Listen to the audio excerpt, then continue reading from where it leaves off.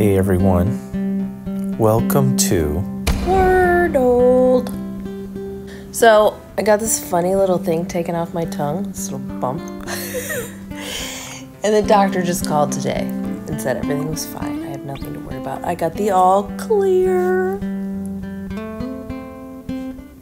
Thought I'd start on a positive note. All Clear. What do you think? Let's do it. Okay. Boom. Ah. Well, two letters. Mm-hmm. All right, all right. Well, a longtime viewer of our of Wordled uh, messaged today that they got it in two. Ooh. So I thought we could tie it Oh, yeah. on this hmm. here. Hmm. Competition, huh?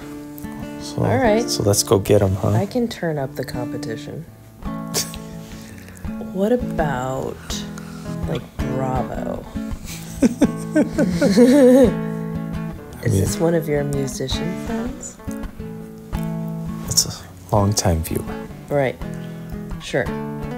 Yes, one of my friends. Maybe they have music, something on their brain.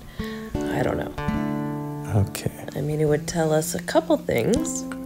The V is a risk, for sure. So is everything we do, right? You want to do Bravo? Yeah, I do. Okay, boom. Okay, so we didn't get it in two. Okay, good. All right, you now we next just one. relax. yeah, Ah, too much stress. I think so. Let's compete with ourselves. Apparently, Carol Burnett often gets it two. Does she use the same starting word? Probably. Okay. I didn't ask. Because I wasn't interviewing her. Why not? I like it. Okay. Boom. Hey!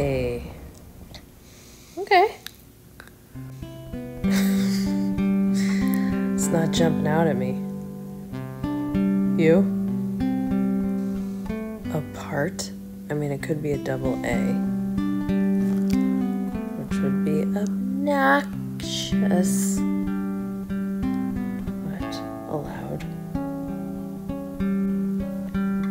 I mean, I can't even think of another word I than know. apart. I know. Well, want to try it? Yeah. Okay. Boom. Look at that. All right. You know what? Hmm. We did two times better than doing it in two. That's a very positive way of looking at it. Yeah, we're twice as good Sure. as that long-time viewer. Yeah. Yeah, twice as good. Mm-hmm. Sure. That's how I'm going to look at it. Glass half full. That's you. That's me.